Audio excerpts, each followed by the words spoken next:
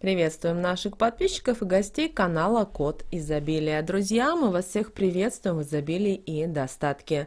Сегодня с вами в этом видео мы уделим, уделим внимание нашему кошельку и поговорим о том, как же правильно дарить кошелек и вообще нужно ли дарить кошелек э, тому человеку, которому вы хотите преподнести подарок. Об этом более детально мы поговорим далее в этом видео. А прямо сейчас подпишитесь на канал Код Изобилия, ставьте лайк этому видео и поделитесь этим видео с теми, кому действительно эта информация будет полезна и важна. Итак, начнем. Если виновник торжества сам захотел получить кошелек в подарок, а такое бывает, тогда лучше вместе с ним отправиться в магазин и заплатить за товар, который он сам выберет. Но если по каким-то причинам это невозможно сделать, тогда следует самостоятельно заняться поисками подходящей модели бумажника. Чтобы подарок был не только приятным, но и нес положительную энергетику, его правильно необходимо преподнести. И делать это нужно следующим образом. Вовнутрь изделия обязательно нужно положить денежную купюру крупного номинала. Согласно суевериям, необходимо поместить в кошелек монеты, причем они могут быть даже иностранными или старинными. Обязательно нужно дарить аксессуар в закрытом виде. В противном случае он будет нести в себе энергию безденежья. Также нежелательно передавать такой подарок из рук в руки. Лучше положить его на какую-либо поверхность. Например, это может быть стол, тумба или стул. Существует одна давняя примета, в которой говорится о том, что бумажник можно дарить лишь тем людям, чей достаток ниже, чем у дарителя. Таким образом, происходит обмен энергией, и получатель такого подарка обязательно станет более благосостоятельным и успешным человеком. Но следует помнить, что кровным родственникам преподносить подобные дары нельзя, так как это сулит большие финансовые проблемы. Если вам подарили пустой кошелек, не стоит паниковать. Его можно зарядить денежной энергией, чтобы он действительно притягивал богатство, изобилие и достаток в вашу жизнь. Для этого в бумажник складывают все купюры крупного номинала, которые есть в доме. Закрывают его и прячут, прячут в укромном месте на 7 дней. По истечению положенного времени подаренный аксессуар можно использовать по назначению. Данный ритуал желательно делать на растущую луну и делиться этим ни с кем не нужно. Кошелек, вопреки всем суевериям, может стать прекрасным подарком другу, любимому человеку или коллеге. Чтобы презент нес в себе денежную энергию, его необходимо правильно выбрать и преподнести. Подаренный пустой бумажник не является проблемой, если знать, как зарядить его на привлечение денег. И, друзья, выбирая презент э, родным, любимым, друзьям или сослуживцам, многие задумываются о приобретении кошелька или портмоне. Конечно же, это отличный подарок, который подойдет как мужчинам, так и женщинам.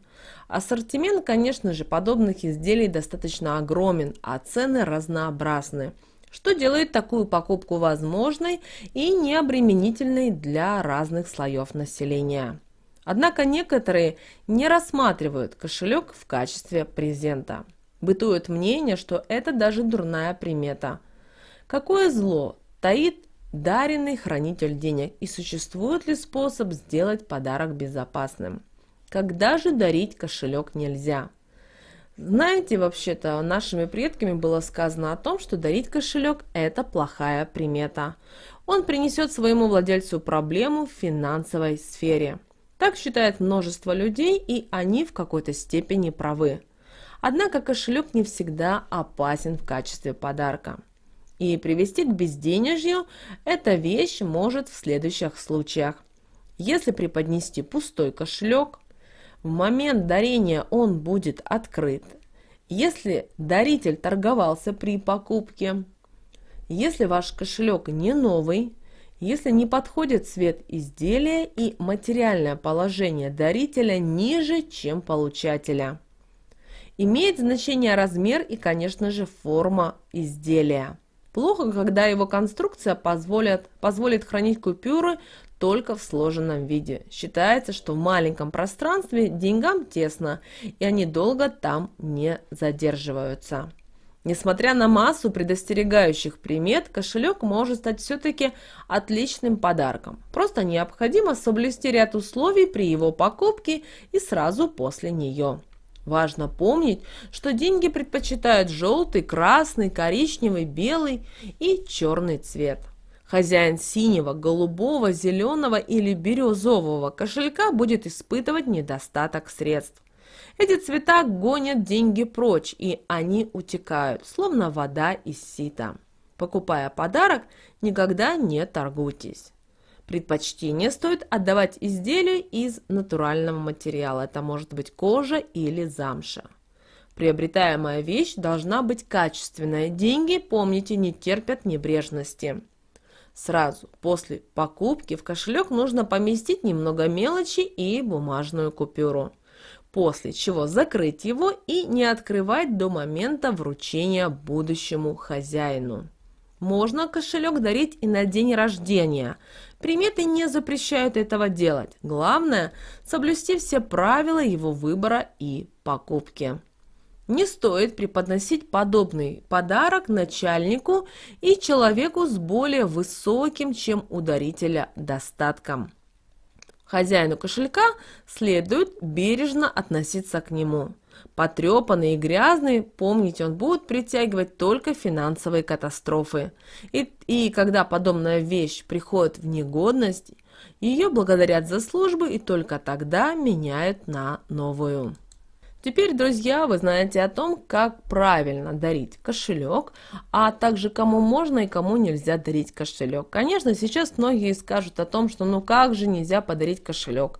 Есть одно дело, когда человек дарит с добрыми помыслами, с добрым настроением, и он хочет действительно сделать приятно. Но в любом случае запомните раз и навсегда, какой бы это ни был бы человек, ни в коем случае нельзя дарить кошелек пустым. Кстати, это относится и к сумкам, особенно женским.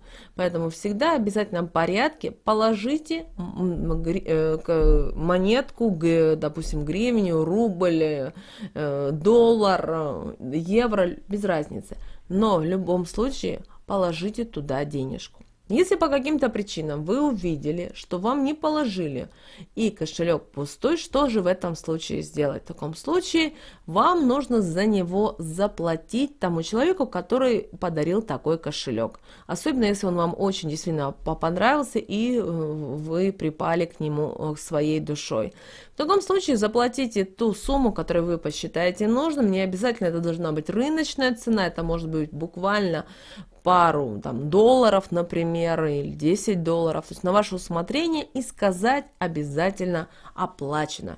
Таким образом вы перекрываете канал к каким-либо финансовым проблемам и недостаткам